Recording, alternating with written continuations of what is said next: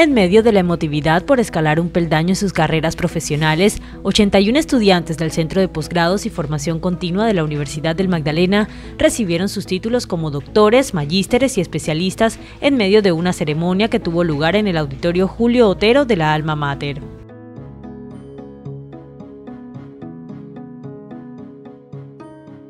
Un paso que me ha permitido a mí avanzar y sé que eh, me va a abrir muchas puertas. Entonces ha significado muchas cosas bonitas, la verdad, para mí este posgrado. Primeramente darle gracias a Dios por el empuje que me dio para echar para adelante, eh, a la memoria de mi esposo, a la memoria de mi madre, a la presencia de mi hijo que hoy lo tengo acá.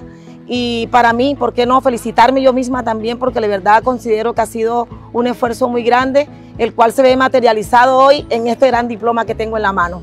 Orgullosos y vestidos de gala, los familiares también fueron parte importante de este momento especial, como el motor de superación de los profesionales para salir adelante, no solo durante su experiencia académica de posgrado, sino a lo largo del camino de su vida. Fue muy, muy especial, la verdad me siento muy contenta y eh, darle al territorio lo que merece con este título. La traje muy niña acá eh, y mire que ya lleva primero el pregrado y ahora la especialización eh, tiene muchos proyectos, tiene mucha visión futura en cuanto a la parte ambiental y pues desearle lo mejor de los éxitos en su nueva eh, carrera profesional.